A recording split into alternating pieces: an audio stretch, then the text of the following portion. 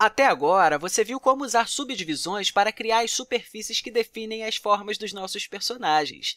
Nesta lição, nós vamos nos aprofundar na matemática por trás das médias ponderadas e, como antes, vamos iniciar nosso exercício do jeito mais simples, que é observando as curvas 2D antes de trabalhar com as superfícies 3D. E nós vamos começar a ver que subdivisão pode ser muito flexível, ou seja, seremos capazes de obter vários resultados apenas variando os pesos. Para continuar o nosso estudo sobre médias ponderadas, vamos relembrar que, em nosso ambiente de modelagem, nós observamos uma média ponderada entre dois pontos. Então, vamos começar esta aula com uma pequena revisão. A gente escreveu que a média ponderada entre dois pontos A e B como m igual a 1 menos t vezes A mais t vezes B. O parâmetro t controla o peso e, portanto, a posição onde m estará ao longo de A e B. Lembre-se também que os pesos na frente de A e B têm que ser um valor até o número 1 para representar uma média de forma adequada.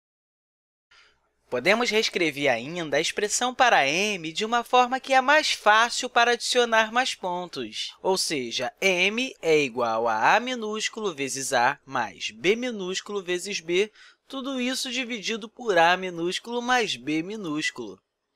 Observe que temos de dividir tudo isso por a minúsculo mais b minúsculo para que a expressão seja uma média adequada. A geometria simétrica dessa fórmula diz que a razão entre os comprimentos AM e MB é igual à razão entre B e A.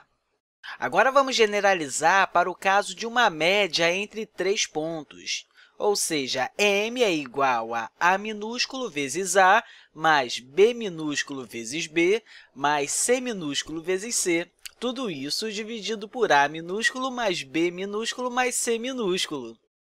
A geometria ainda diz que as áreas dos subtriângulos estão na razão de A para B para C.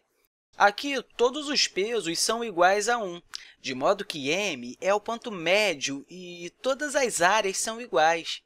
Suponha agora que quiséssemos que o peso de B fosse duas vezes maior que o peso de A e C. A álgebra será, então, m igual a 1 vezes A mais 2 vezes B mais 1 vezes C, e tudo isso dividido por 4. De acordo com a geometria, a área do triângulo oposto a B será duas vezes maior que a área dos outros dois triângulos. Aumentando o peso de B, faz o ponto M ficar mais perto de B. Aumentando para 3 faz ele ficar ainda mais perto. Definindo agora o peso de A para zero, ele não será levado em consideração. Dessa forma, o ponto M estará no meio da linha entre B e C. Eu adoro essa conexão entre álgebra e geometria, e isso é tão elegante e realmente útil também.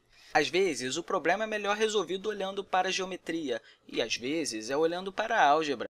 É por isso que é tão importante ser fluente em ambas. No próximo exercício, você vai testar o seu conhecimento sobre esses conceitos. Eu adoraria falar tudo isso em espanhol.